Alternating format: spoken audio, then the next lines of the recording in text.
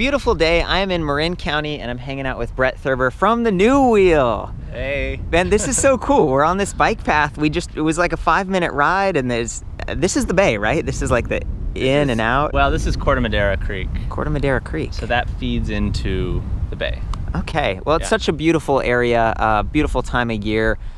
And we're looking at an awesome bike. This is the Gazelle Arroyo C8, and we're looking at the step through. It also comes in diamond, three frame sizes, and this is this is one of the smaller ones. So it's 18 inches right here. Incredibly easy to approach and step through this bike. Okay, we've got the nice swept back handlebars, ergonomic grips, suspension fork here, along with a suspension seat post that is adjustable. That has preload adjust. So that's kind of like how hard you have to hit it before it releases. You also got uh, sort, sort of like spring adjustments in here. This is a, the coil fork.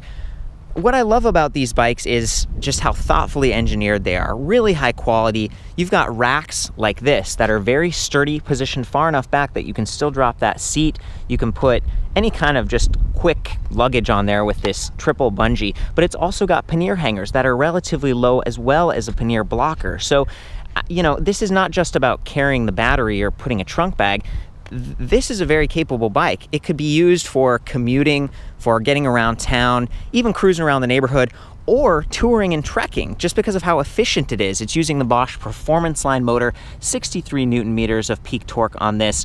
It's a little bit peppier. You know, Bosch also has the active line, a little bit smoother, slower, more relaxed. This is a great middle ground between uh, the, the active and then the CX, which is high torque. 20 mile per hour top speed on that. The battery pack has been upgraded to the Power Pack 500, and compared to 2016 when I looked at the other Arroyo C8, um, it seems like there are a few little tweaks, but the price is actually a little bit lower. It's $34.99. It is a little bit heavier than last year, so it's about 58.7 pounds. That's it's getting there.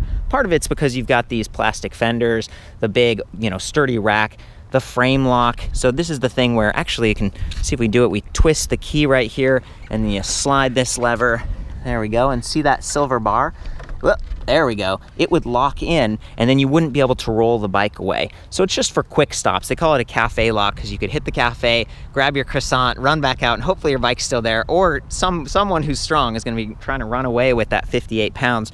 Last year it was like 57 pounds, and I think part of that's because of the Power Pack 500 you know, the Power Pack 400, maybe it's half a pound lighter. These rack batteries, 6.1 pounds versus the down tube battery, which is about 5.7. So a little bit more weight, but that's what creates this amazing step through wave design um, that I, I definitely appreciate. We've also got a quill stem right there with tool free adjustable angle stem. So you can put it forward, you can bring it back and really dial this in. Those gull wing sort of swept back bars, they aren't super wide, which is which is kind of neat. Like if you're cutting through cars or you're trying to park this in a garage or a tight space, they still give you the comfort and they provide that upright, relaxed feel that Dutch bikes are known for. But you know, they're still narrow enough that you can get through the door. Magura hydraulic rim brakes, four finger tool-free adjustable levers. Again, just really nice to have all these adjustments so you can dial it in, bring those levers really close if you've got petite body, smaller hands, that kind of thing. Integrated headlight, love this. It's built right onto the fender, so as you steer, it points exactly where you're going. Reflectors, reflectors on those pedals. This is one area where it's like, man, the pedals are okay. They're actually a little bit larger than some of the other platforms I see. The rubber can get a little bit slippery, but if you if you slide off in the rain or something, this isn't going to scrape up your shins as much. So it's always compromises. Adjustable kickstand back here. Love this thing. You don't even need a tool. There's like a little ball on the end and you kind of push it in and you can slide that up or down. Um, I definitely appreciate that. Reflective sidewall stripes on the tires, a lot of safety here, and the rear spokes are 13 gauge, so they're a little bit thicker than the front. And I think these are uh, 36 hole rims, so, you know, extra spokes, reinforcement eyelets right there. The tires are a little bit more narrow, which is going to be efficient 28 by 1.4 inches you know, versus some of the cruisers and stuff have like two inch, you know, balloon type of things, but that adds weight. That's also not as efficient when you're cruising along.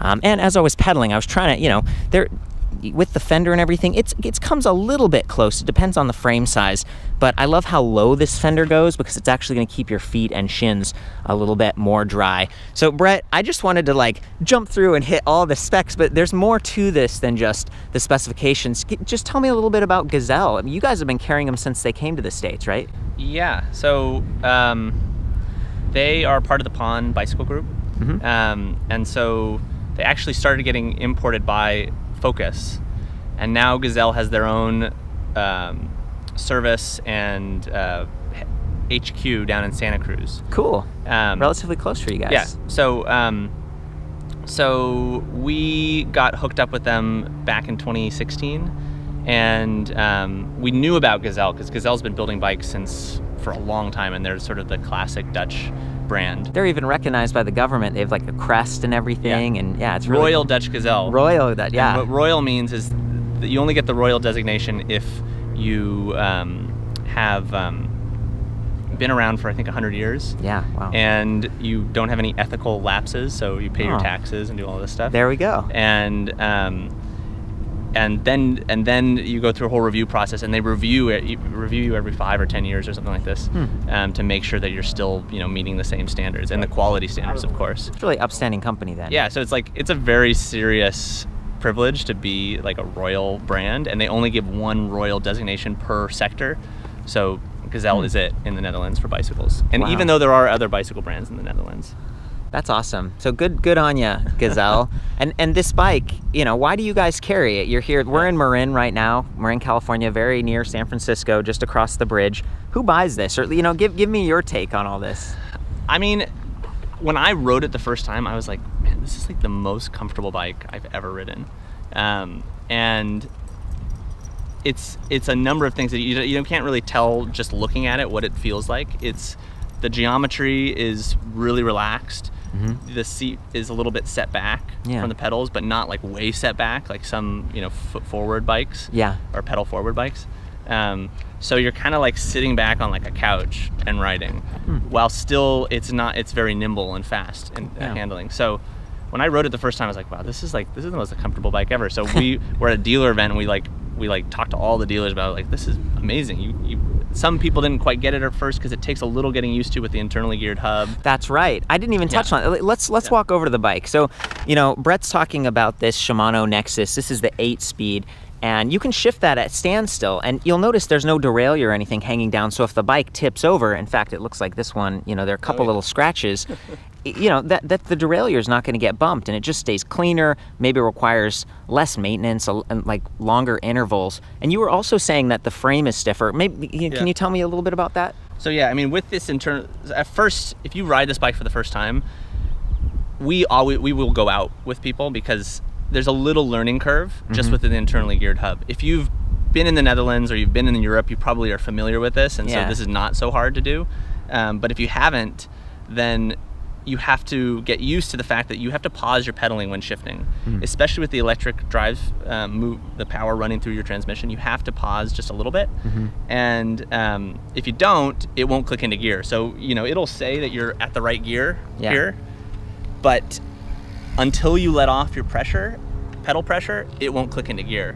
And that's a particularly crucial in a place like San Francisco or in the Marin where people are going up really steep hills, they're putting lots of force on the pedals mm-hmm. and, and the motor's putting out a lot of power. That's right. And so unless you let off, it's not gonna perform as well. So that's that's the first thing. Once you it takes I think a couple rides before you're like totally easy second nature Yeah. but you but you know you have to kind of expect that and just kind of you know i guess just be okay with the first ride just getting used to it and then mm-hmm. the second ride you're like oh man this is amazing Well, the other trade-offs are these tend to weigh a little bit more than a derailleur and, and Yep. sprockets, right? Yep. So it's it, give me the pros and cons again. Is it just more durable, or why would you get this versus a derailleur? i mean simplicity so it is really simple and you can shift at any time so in an mm-hmm. urban environment you come to a stop sign you don't have to like you know be moving a little bit and getting to the right gear you can just quickly get to the right gear and does it shift right away in that case? right right away if you're not putting pressure on the pedals it's it's shifted Okay. Um, if you're putting pressure, you'd let off for just a just a moment and it clicks into gear. Okay. Um, the other thing I like about it is it's really quiet. Yeah, that's so true. There's there's two hubs that Shimano. Well, there's three hubs, but this is the Shimano Nexus 8. Mm-hmm. There's also the Nexus 7. The 8 is completely silent because it has a roller clutch inside, Hmm. and so when you start pressing on the pedals, the it expands, and that's what engages. Oh, that makes sense. So yeah, you're at a stop sign. You kind of like let off, do the shifting, and then when you start, it kind of like expands out, expands and out again. locks. So Sweet. the roller clutch, the cool thing about a roller clutch is when you're coasting, you don't hear like we're hearing bicycles roll by here, That's right. Yeah. and they're like, you know, you it's buzzing along. With this roller clutch, it's completely silent. It's like it's really cool. So that's one benefit. The Nexus 7 doesn't have a roller clutch. It has pawls. Hmm. So you hear a little clicking. Oh, so yeah. I particularly like the Nexus 8. You, t- you mentioned uh, like just clean and durable. I also like this chain cover. It's Yeah. completely enclosed, so there's plastic on the other side. It just seems like it's going to keep water and dirt out. And there's only one sprocket up here. I believe it's 16 tooth, Mm-hmm. and one back there.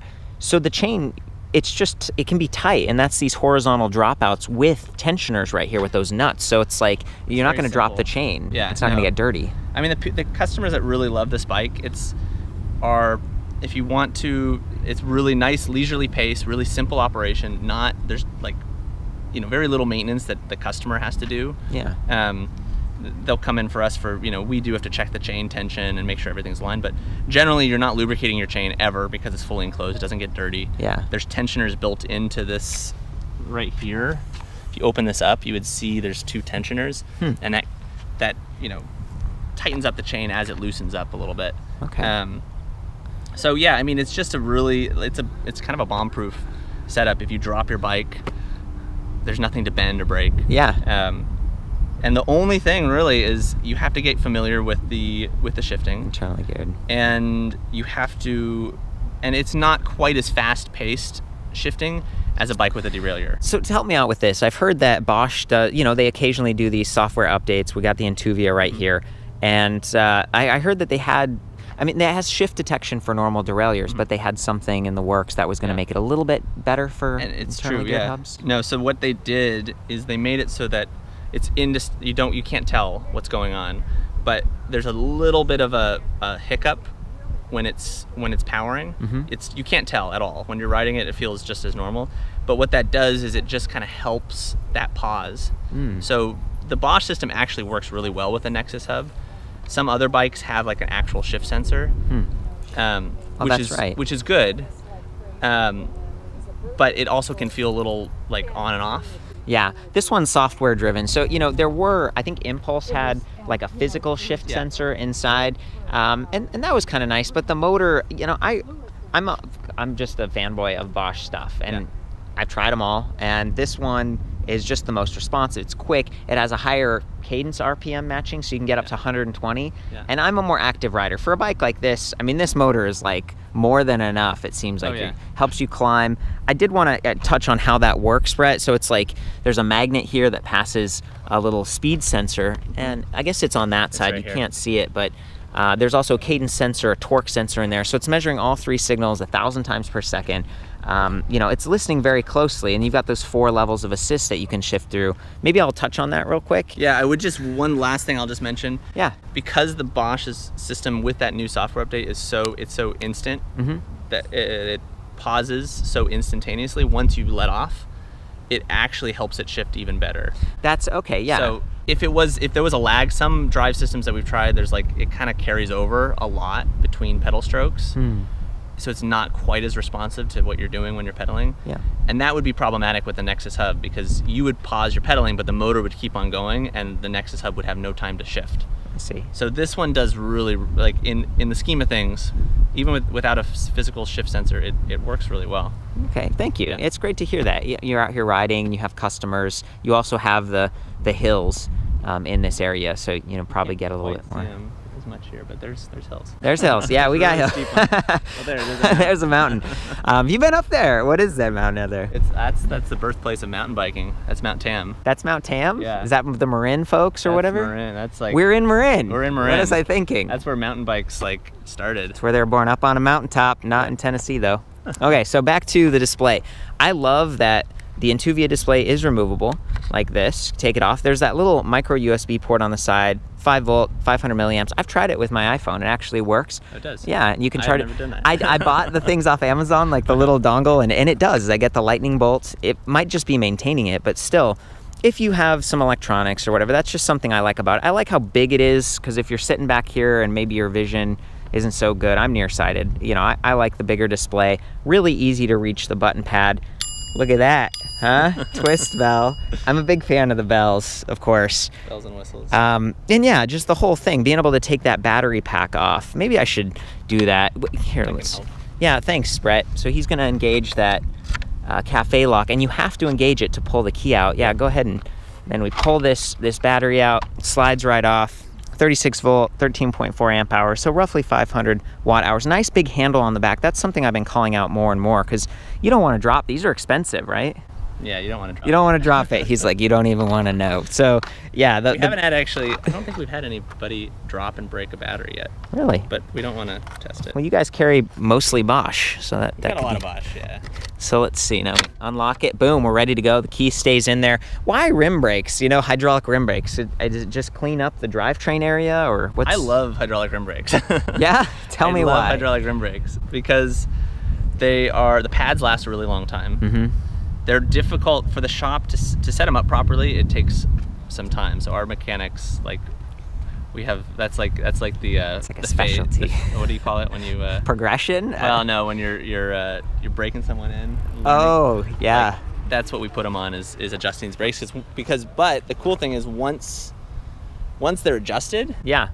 they're you don't have to readjust them Okay. they're not like hydraulic disc brakes that can go out the pistons go out of adjustment a little bit Hmm. the pads last longer they're really quiet Yeah. in all weather Oh. um, And you get good. I mechanical mean, advantage. I mean, yeah. you're way out at the edge of the wheel. I w- yeah and what i tell people is hydraulic is the key word Hmm. so cab you know hydraulic rim brakes and disc brakes they're all really they're going to be great Versus mechanical. mechanical that's where things get is not that's lesser then so some people say oh i want a disc brake and they point to a bike that has a cable disc brake it's like oh. you're much better off with a hydraulic rim brake than a cable disc brake in my opinion Excellent. The I agree with the you. The only drawback i will say is um, you know you eventually if you're putting thousands and thousands and thousands of miles on your brakes yeah. you will eventually wear out your rims Oh. and you need to replace your rims Scrape up the rims a little. It's just sort of Yeah. there's dust and stuff being driven into that.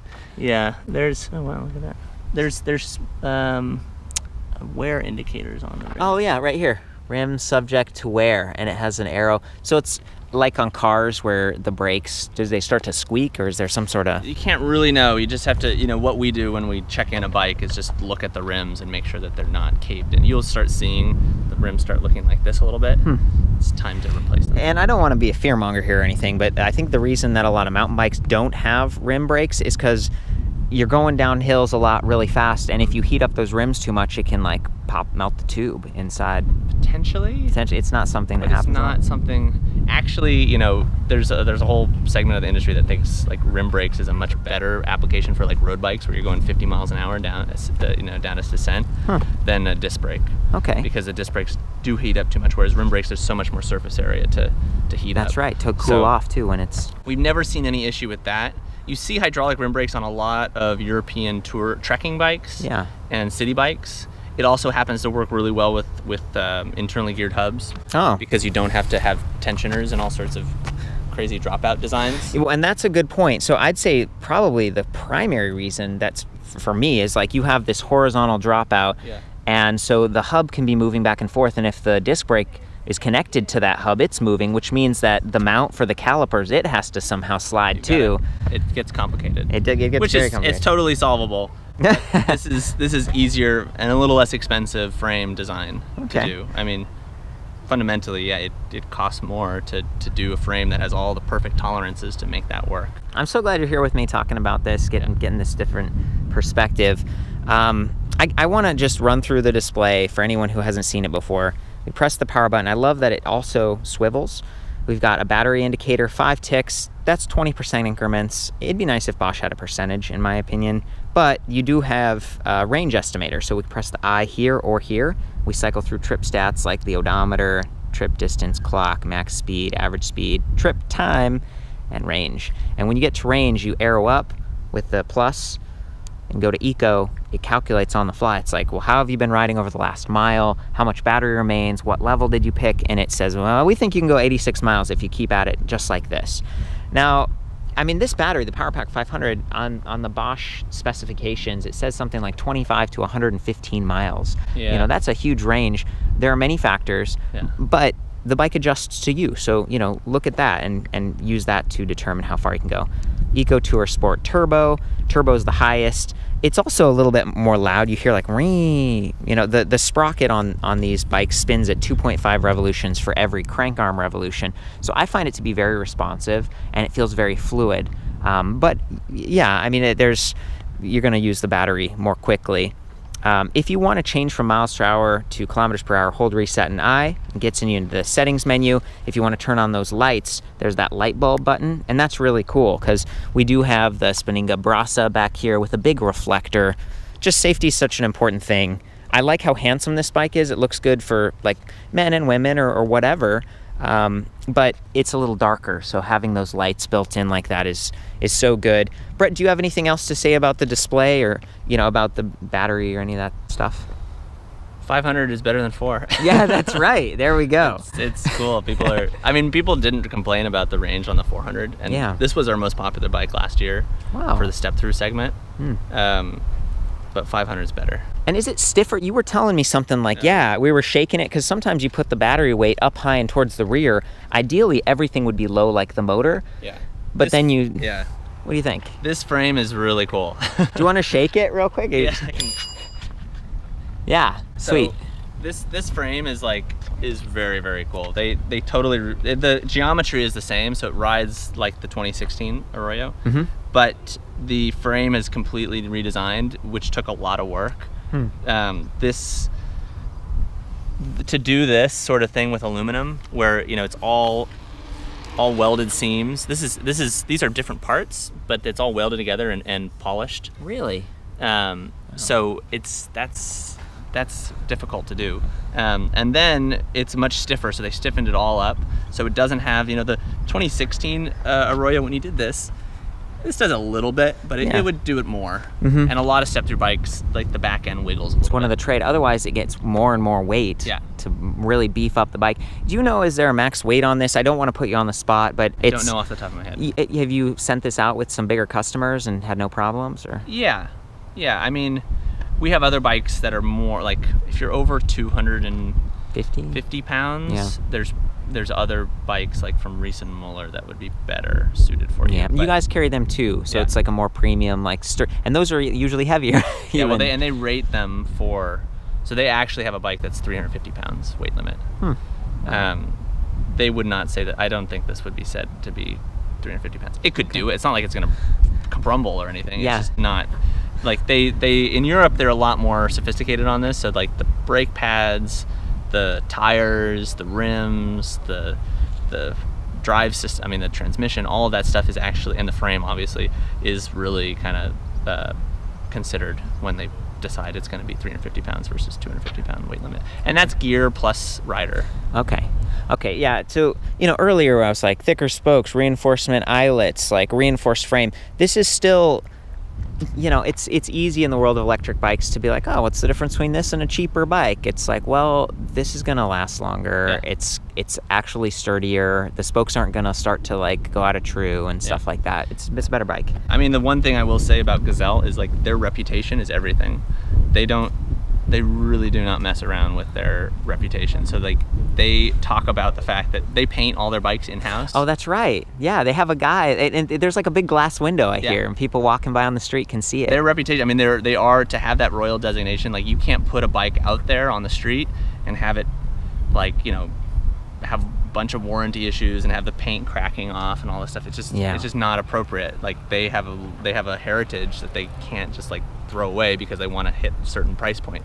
Yeah. Um, so that had that goes into like the amount of energy that they put in redesigning a frame like this. Yeah. It goes into the paint job. I mean, you you this bike is designed to be like used on a daily basis, thrown up against bike racks, and the paint is actually better than some than car paint in many instances. It's ten layers of paint. It's I like- heard they have like a marine tank and they dunk Yeah. it in. They have a UV room where they It's- they seriously put them through. It's sophisticated. So and I mean it makes sense. I mean, why do you want a situation where the bike comes in? It, it's the bike should ride and look really good for five, ten years Mm-hmm. or more. You know, it shouldn't. I, I hate when I see bikes that come back that like you know are all chipped up and all this stuff. It's like oh no. Well, and there, there's a price to consider. You pay a little bit more for this, but they do have the two-year comprehensive warranty. Plus, I, I don't know the frame warranty. I know it's at least five, and maybe depending on where you are in the world, they they just a really it's just a solid brand. And now that they're using, I, maybe they always use Bosch, but I'm thinking about Focus and Yeah. and Kalkhoff. Um, I, I really, you know, I feel like the Bosch system's going to be around. They're going to be supporting these batteries for a long time. So the bike's going to last, and then you also have the option to to keep it going with new Yeah, battery. You're not, you're not relying on Gazelle to support your motor system, Mhm. which is it's nice. I mean, we think about that too when we decide what bikes brands to carry. Um, but you know, they, they do they have a, and they do have a lot of custom stuff, like the light integration and the the stem. Yeah, this is Busch and Muller actually. So, Yeah. and there's like a little, there's a voltage. So it, it feels like you could actually get in there. This is a little less It is Busch- disposable than some of the other bikes. Yeah, but it is made for Gazelle, so you can't you can't just go to Busch and Muller and I like we can't go to our distributor and say, hey, I want to order one of these lights. We got to get it from Gazelle. It looks like, is there like a flash mode or something? No, this is an adjustment, so you can adjust the angle of your light. Oh, whoa, look at that. It actually angles it down. How cool. And then these, do you have to adjust these like perfectly with each other? Because it said something about stiffness. Yeah, you need to adjust them like one click on each side. Okay. Okay. Well, cool. That's, I'm not, you know, there's all kinds of forks and stuff out there. Coil, I think, tends to be pretty quick. It's nice to have any adjustment because this, you know, there's no preload or Yeah. lockout or anything, but you do have that stiffness. You know, internally routed cables, the whole thing. We've been talking about it for a while. It's nice to get the perspective, but maybe I should just hop on and. Yeah. Um, can I follow you on this bike to Yeah. first to get? We'll just ride up there a little ways. You want me to ride this? Yeah, I want to see what you look I'm like on it. tall on it. That's the only problem. That's is a- okay. This is a 46 centimeter frame. This is the smaller one. Also, there's the 4 amp battery charger, so it's a little bit faster, weighs about 1.7 pounds. Um, I like the Bosch chargers. It's easy to toss into a bag or panniers if you had them. And with that larger battery, it just means less time between rides. And I'm on the city's end right here, or Citizen. Go for it.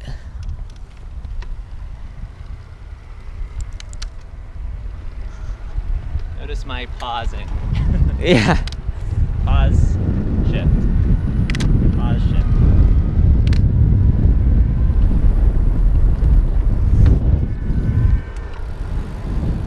Got a bumpy section here. Really smooth, it's totally quiet. Okay, we trade off? Yeah. Very nice. Thanks, man. Okay, guys, I'm gonna hop on this thing. I'm gonna start out in eco mode just because it's, you know, it's kind of the smooth, quiet, most efficient. Um, I'm also gonna shift down right now. So, whoop, all the way down. Sweet. I let off. I actually heard it click. Yeah. Actually, that was cool. Now that's the thing you learn.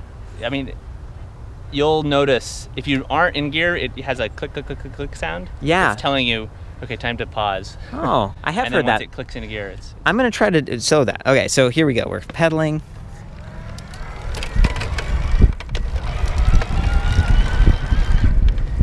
So you can hear it whining as I get into those higher RPMs. Um, and that's when it's like, okay, shift up. And in fact, there's even a little arrow on this display that sh- shift assist or shift recommendation. And that's telling you, okay, go ahead and shift gears. So I'm gonna do that. This time I'm gonna pedal hard and shift.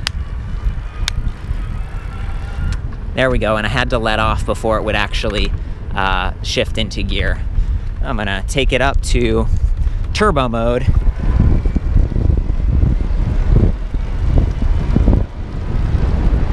There's our top speed, 20 miles per hour.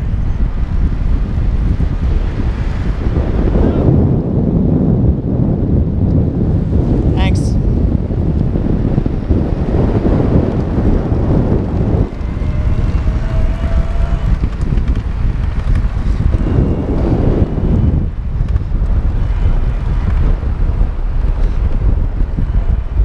Cool. Very nice. Well, guys, we're heading back to the shop. I think that's about it. That's the Gazelle Arroyo C8. For the full write-up on this, all the specs and measurements I got, we'll see you back at electricbikereview.com. Brett, thank you so much. What's your website? Newwheel.net. Newwheel.net. And these guys have some great YouTube videos too. When they get new bikes, they usually do overviews and stuff. So check it out. Uh, have fun. Ride safe.